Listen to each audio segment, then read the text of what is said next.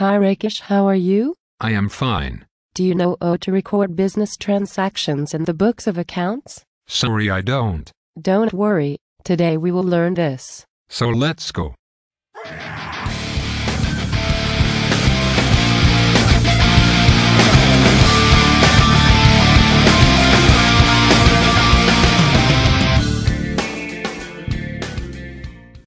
Hello friends, I am Rakesh Kabra with a new video for you.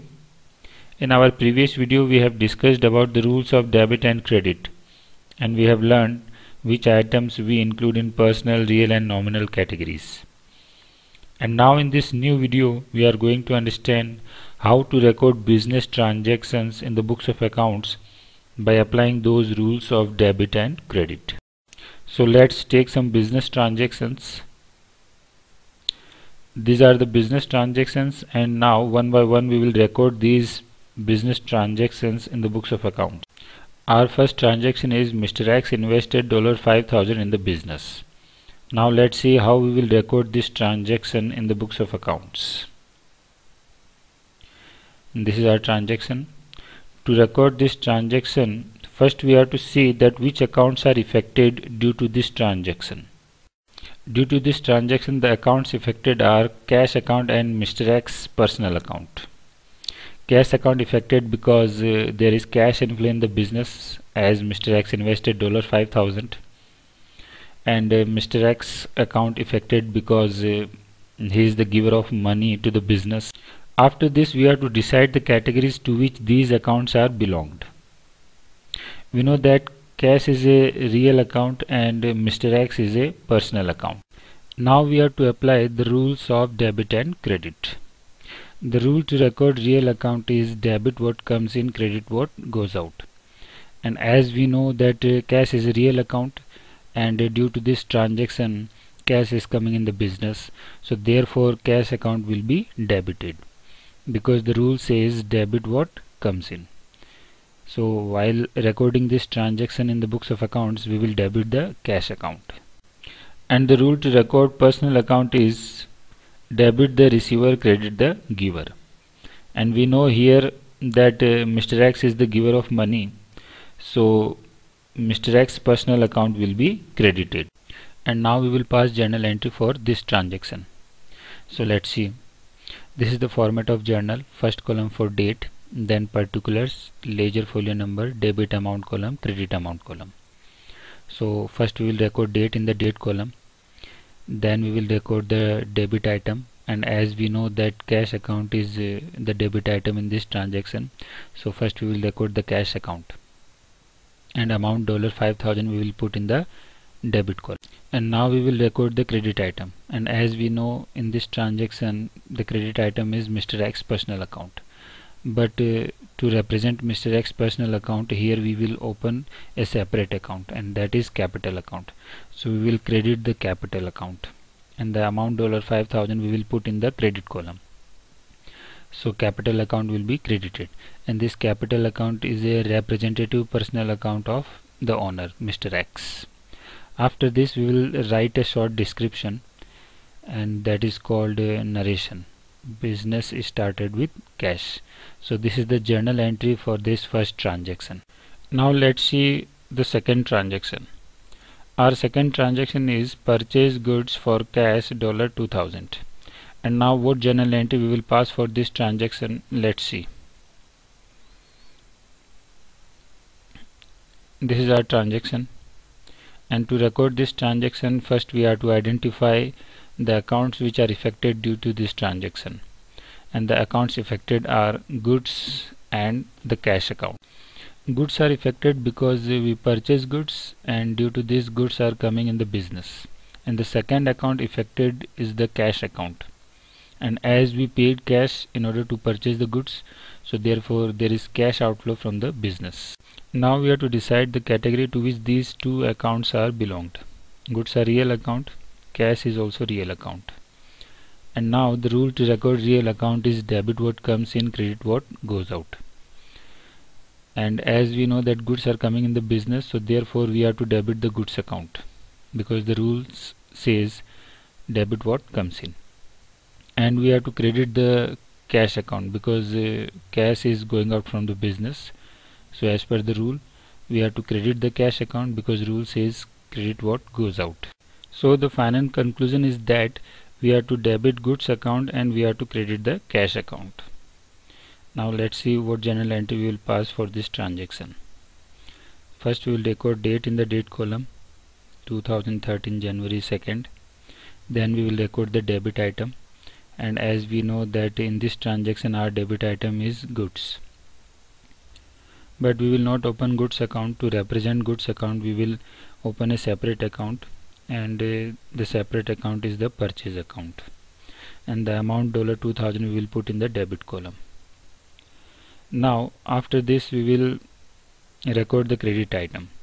And in this transaction our credit item is the cash account.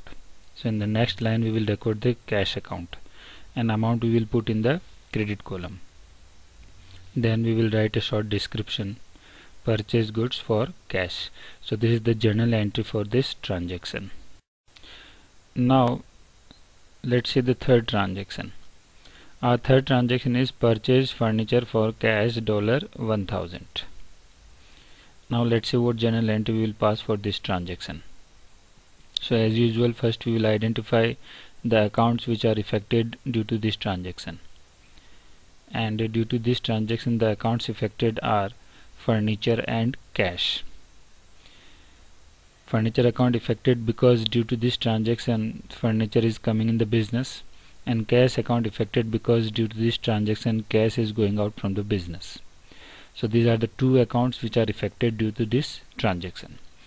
After that we will decide the category to which these two accounts are belonged.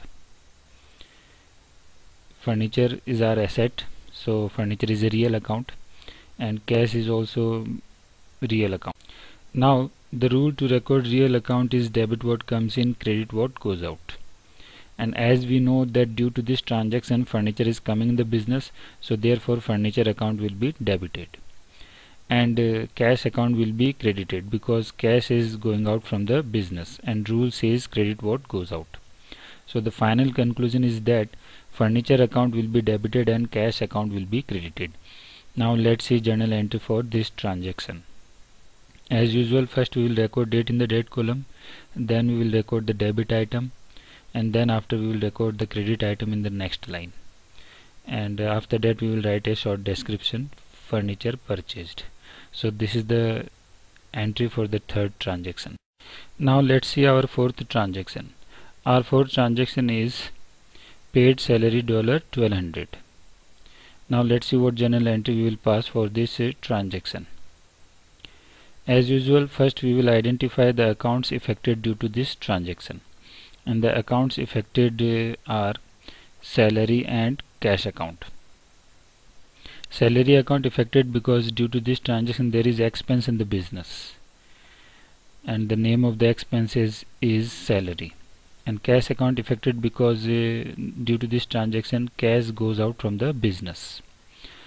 So these are the two accounts affected due to this transaction salary account and cash account after that we will decide the category to which these two accounts are belonged salary is a nominal account cash is a real account now we have to apply the rules of debit and credit the rule to record nominal account is debit all expenses and losses, credit all incomes and gains. And as salary is a expense account, so it will be debited because rule says debit all expenses and losses. And the rule to record real account is debit what comes in, credit what goes out. So we have to credit cash account because rule says credit what goes out. Now let's see journal entry for this transaction. So first we will record the debit item here debit item is the salary account so we will record salary account amount we will put in the debit column and now we will record the credit item and cash is the credit item so we will record the cash account in the next line. Then we will write a short description paid salary. So this is the journal entry for this transaction. Now let's see the last transaction. Our last transaction is sold goods for cash dollar 200 now what journal entry we will pass for this transaction? L let's see. So this is our transaction. So as usual first we will identify the accounts which are affected uh, due to this transaction and the accounts affected are goods and cash.